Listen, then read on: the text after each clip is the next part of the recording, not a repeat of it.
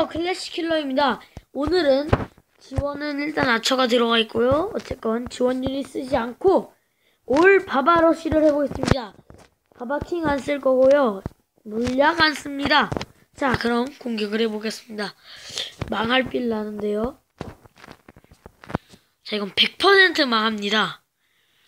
네, 음, 이거 다크릭서 많았으면 좋았겠네요. 자, 이거는 바바리안으로 돌려깎기는 할 수 있을 것 같지만 박격포에 살짝 녹아버릴 것 같네요.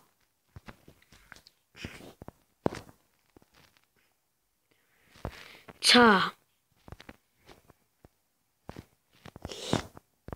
요거는 이제 돈 사실 7월에 동홀한테 오, 올 바바러쉬를 해서 50%를 딴다는 건 대단한 겁니다. 뭐 6콜이야 모르겠습니다. 7월도 바처로는 할 수 있죠.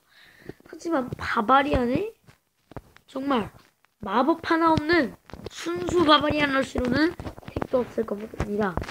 일단 뭐 쓸모도 없는 아처와 바바리안 킹으로 홀치기를 하고요. 그 다음에 바바리안 킹 회복하고 클랜 성지 원군도 없으니 정말 다른 유닛 진짜 안 쓰고 올바바러쉬 해보겠습니다.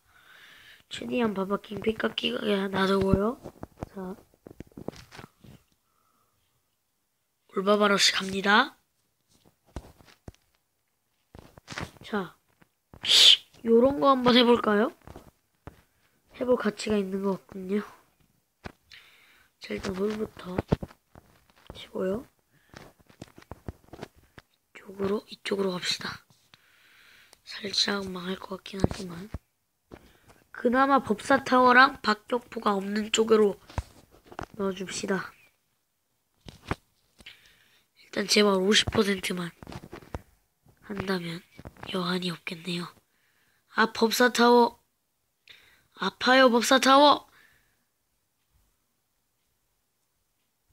바바리안 이거 딱 봐도 박격포에 녹을 것 같은데요. 아, 이거 뭔가요? 자, 바바킹, 바바리안 이거 망했어요. 이거 왜 한다고 한 건지 모르겠네요. 이게 뭡니까, 이게? 바바리안 1초 만에 녹을 것 같은데. 아, 박격포. 자, 뭐 하나요? 차. 차.